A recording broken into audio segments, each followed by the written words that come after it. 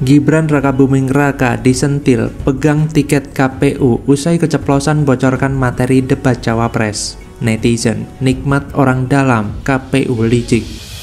Sebenarnya saya nggak boleh menjelaskan ini, ini saya simpan bahan debat tiga minggu lagi, tapi nggak apa-apa saya jelaskan. Bapak Ibu, Solo ini kan tadi saya jelaskan tidak punya lahan. Kiri kanan kita punya lahan. Ya kita punya apa? Kita punya jadi kayak Gibran ingin menunjukkan bahwa KPU nggak bisa apa-apa gitu ya. Dia melanggar melanggar aturan-aturan yang ada juga yang nggak akan diapa-apain gitu kan. Sehingga ini membutuhkan uh, sanksi sosial dari masyarakat dari kita semua. Karena kalau KPU tidak bisa memberikan sanksi yang tegas gitu ya, ya berarti kita yang memberikan sanksi sosial kepada Gibran dengan tidak memilihnya. Halo, kembali lagi dengan saya, Endra Caniago, di channel Redaksi Jurnal. Gibran Rakabuming Raka disindir pegang tiket KPU usai keceplosan bocorkan materi debat Cawapres kala berpidato menjadi wali kota Solo.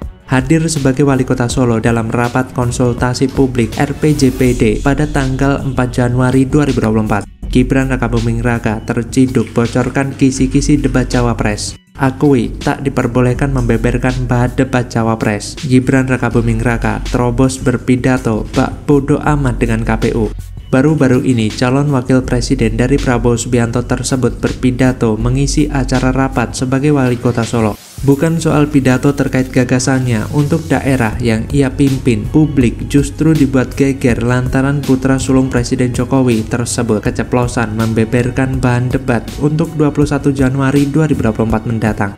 Saat itu, Gibran tengah melontarkan ide-idenya terkait pembangunan di kota Solo. Lebih lanjut, ia menjelaskan terkait bonus demografi yang dikaitkan dengan smart farming. Anehnya, meskipun mengakui bahwa ia tidak seharusnya membocorkan terkait hal tersebut, alih-alih berhenti, dirinya malah melanjutkan pidatonya bak tak bisa mengontrol situasi. Alhasil, Gibran Rakabuming Raka disentil punya tiket dari KPU lantaran mengantongi informasi materi debat terlebih dahulu. Banyak yang menilai bahkan bukan hanya dari MK, ternyata Gibran juga punya tiket dari KPU. Tak ayal, cuitan tersebut menuai beragam reaksi netizen di kolom komentar. Banyak yang menilai Gibran dibantu orang dalam. Gibran memang licik, difasilitasi dengan diberikan kisi-kisi dari KPU buat debat Cawapres pada tanggal 24 Januari nanti. Ya begitulah, jika sudah kebelet berkuasa, narasi menang satu putaran yang disuarakan oleh kubu Prabowo menjadi bukti bahwa apa pun akan dilakukan termasuk memberikan kisi-kisi kepada Gibran memang terasa ganjil dan lucu sehubungan dengan pekik menang satu putaran ini. Jika merasa sudah yakin akan menang mudah, mestinya akan merasa lebih tenang dan tidak kerasa gerusu atau ojo ke susu. Justru mereka terlihat tidak percaya diri dengan salam nasional antar sesama mereka itu. Salam menang satu putaran dan hasil-hasil survei sepertinya berkaitan satu sama lain. Tiba-tiba saja elektabilitas mereka meroket bahkan terakhir katanya sudah mencapai 51%, meninggalkan Ganjar Mahfud yang selama ini memimpin dengan tipis. Yang ganjil adalah mengapa setiap Ganjar Mahfud melemparkan sebuah statement lalu elektabilitas mereka turun kata survei? Misalnya, ketika Ganjar mengkritik bahwa nilai penegakan hukum pemerintahan Jokowi adalah 5, elektabilitas mereka langsung anjlok tajam. Ada saja netizen yang mengingatkan bahwa pernyataan-pernyataan yang nadanya memojokkan Jokowi justru akan membuat simpati publik mengalir ke Jokowi. Entahlah apa maksudnya, apakah supaya publik tidak mengkritik Jokowi? Dan sepertinya memang benar, setiap ada statement Ganjar Mahfud yang bernada mengkritik Jokowi, tak lama berselang keluarlah pula hasil survei yang menyatakan elektabilitas Ganjar Mahfud melorot tajam. Sebaliknya, elektabilitas Prabowo Gibran malah melesat hingga 50% ke atas. Artinya, Pilpres 2024 hanya satu putaran. Sekarang, pihak yang sama sudah bersama penguasa menggaungkan menang satu putaran. Tujuannya diduga untuk mempengaruhi dan mengarahkan pikiran banyak orang bahwa mereka akan menang dalam satu putaran saja. Dan tentu cara lainnya dengan memanfaatkan KPU untuk memberikan kisi-kisi debat Cawapres kepada Gibran.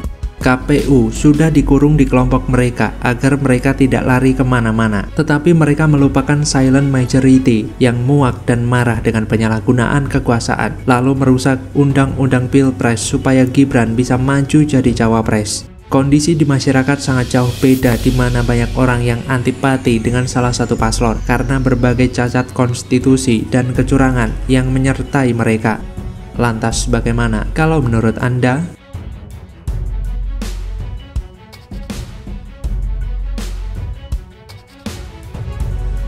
Wartawan geleng-geleng kepala, Gibran ditanya apa, jawabnya apa. Luar biasa cerdas tapi bohong. Mas sempat disampaikan dulu tidak uh, asal susunya di, tidak tahu dari mana Mas. Itu sebenarnya susunya yang dibagikan dari mana ya Mas? Ya, susunya asal susunya, asal itu susunya. Sebelumnya kan sempat disebutkan tidak tahu asal. sama sekali tidak dari ya ya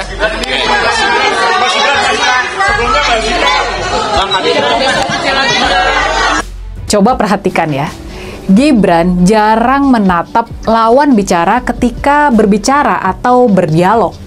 Ketika bicara, sering kali tatapan matanya malah menerawang entah ke mana. Di luar soal cara berkomunikasi ini, isi atau materi komunikasi dari Gibran juga tampak terbatas. Yang jelas, kemampuannya masih jauh lah dari yang dituntut terhadap seorang cawapres Halo, selamat datang di channel Redaksi Jurnal. Cawapres nomor urut 2, Gibran Raka Buming Raka, tidak menjawab saat ditanya asal-usul susu yang ia bagikan di saat Car Free Day di Jalan Sudirman Tamrin pada awal Desember 2023 lalu. Saat ditanyai tentang hal tersebut, Wali Kota Solo itu justru membuang muka. Mulanya, Gibran memberikan keterangan di selesai menjalani pemeriksaan dari Bawaslu pada Rabu 3 Januari. Kemudian, ada pertanyaan dari mana asal-usul susu tersebut. Sebab, Ketua DPP PAN Zita Anjani yang ikut dalam CFD tidak tahu dari mana asal-usul susu tersebut dan sudah ada ketika ia sedang berolahraga. Gibran sempat memperhatikan wartawan yang bertanya itu. Namun saat pertanyaan selesai disampaikan, ia justru tidak mau menjawabnya. Gibran sempat berdiam ketika wartawan selesai menyampaikan pertanyaan, seperti berpikir mau menyampaikan jawaban. Tapi ternyata Gibran tidak jadi menjawab dan melengos meninggalkan wartawan. Saya yakin wartawan yang ada di momen tersebut dibuat bingung. Bagaimana tidak? Sekelas cawapres tapi jawab pertanyaan sesederhana itu saja seperti orang linglung dan kebingungan. Kualitasnya begitu rendah. Dia itu seperti tidak memiliki integritas sama sekali sebagai seorang cawapres. Seperti sok berwibawa, sok memiliki kualitas tapi isinya kosong melompong. Ayal, reaksi Gibran tersebut langsung menjadi sorotan netizen. Mereka merasa aneh dengan sikap Gibran yang tampak enggan memberikan keterangan terkait susu yang dibagikan. Reaksi Gibran ini dinilai sangat berbeda saat ia debat Cawapres pada 22 Desember. Netizen menilai bahwa saat debat Gibran terlihat begitu lancar, berbeda saat menjawab pertanyaan dari awak media. Miris ya melihat kualitas Gibran seperti ini, menambah keheranan saya. Dari hasil-hasil survei selama ini, terbukti bohongnya.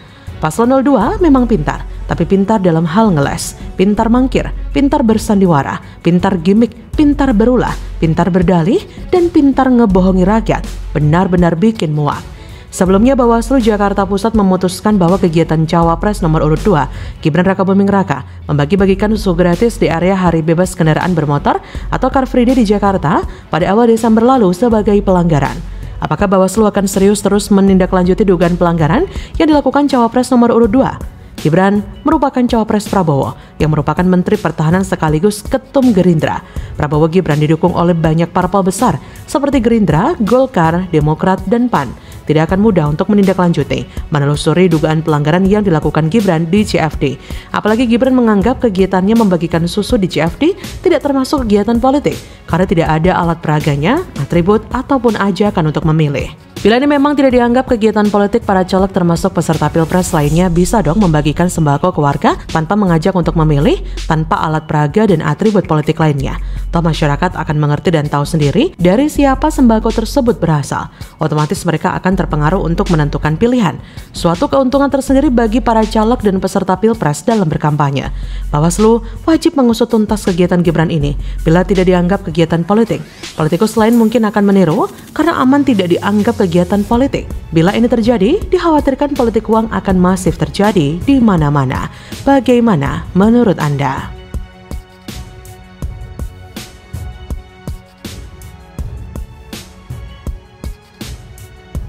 Angka yang Prabowo ini ternyata belum berhasil menembus 40% seperti yang selama ini sudah digembar-gemborkan oleh para pendukungnya yang getol melempar propaganda akan menang dalam satu putaran. Mimpi bisa menang satu putaran itu sungguh jauh panggang dari awal.